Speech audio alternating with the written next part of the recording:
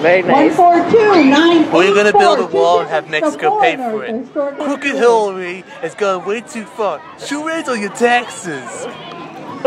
There you go. Okay, and next up, uh, we have one of our new members, fantastic fun.